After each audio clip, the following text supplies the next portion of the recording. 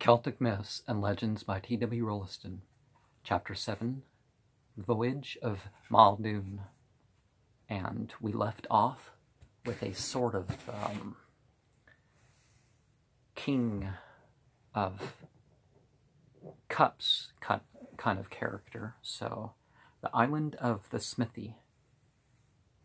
As they approached this, they heard from afar, as it were, the clanging of a tremendous smithy, and heard men talking of themselves. Little boys they seem, said one, in a little trough yonder. They rowed hastily away, but did not turn their boat so as not to seem to be flying.